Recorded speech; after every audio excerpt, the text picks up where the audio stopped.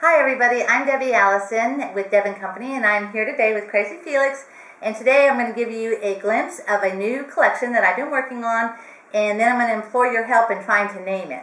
So um, we're going to start over here and I'm going to show you what they are. Most of you are familiar with my Belly Bear Sports and Occupations but I've come up with a new line of kids and this is a soccer boy and I've got a little soccer girl, and of course I'll do like all the sports and occupations and cheerleading and all of that.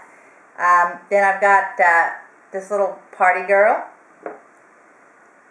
This is a little party boy, so that's a little set. And then I've got my St. Patty's set, little boy. And the St. Patty's girl.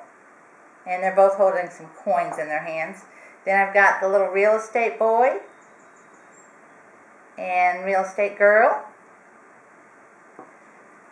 This is my favorite here, this little gardener girl. I really like her. And uh, she took me all day to make. And then I've got a little teacher girl and little teacher boy. Then this is another favorite. This is uh, was inspired by that show Toddlers and Tiaras, and it's a little beauty queen girl. And then another absolute favorite is this little ballerina girl, and she probably took a whole day to make as well. And um, she's got like a triple tutu on, lots of glitter and pearls. That's the back side of her. And then this is another little ballerina, and she's got um, a different outfit on. Um, and that's the back of her. So basically what I'm going to ask you all to do is to vote on two of the names that I've come up with. The first name is Cutie Patooties, which I like a lot. In fact, I call my kitty cats Cutie Patooties, so that's where I got that name. And then I was thinking the Giggle Gang, and that's Giggle like with a G, Giggle Gang.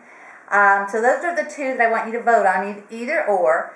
And if you even come up with, say, a different name that I haven't thought of and we use it and it's not already used by somebody, then you will automatically get a free ornament. And every vote on this will actually be entered to win for a free ornament giveaway. And we will probably run this for a couple weeks. And by the end of two weeks, I will have a name for my brand new collection. So I do appreciate your help, and I appreciate you being here with us today. Once again, I'm Deb with Deb & Company. Thank you, and we'll see you again. Bye.